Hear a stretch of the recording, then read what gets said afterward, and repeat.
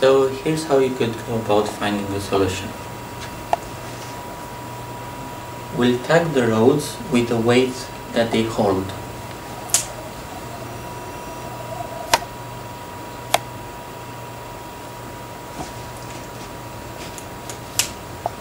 And we see that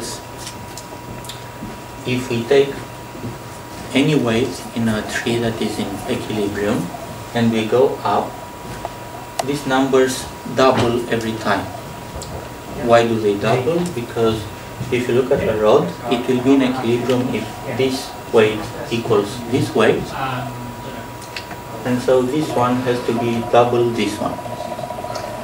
So we can take each weight in the original tree, like this tree, and see if this one remains unchanged, what would be the weight of the whole tree? And it will be 3 times 2 times 2. In this case, 12. We do that for every weight, and that gives us what the weight of the whole tree should be if one of the hanging weights doesn't change.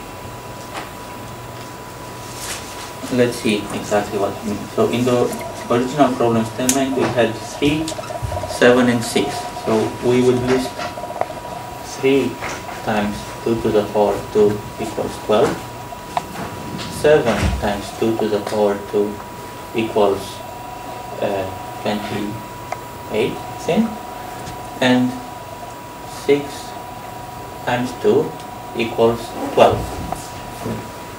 Then we see which number occurs most often we say okay so we can make this a balanced tree of weights 12 and keep this weight and this weight unchanged and that tells us how many others we need to change.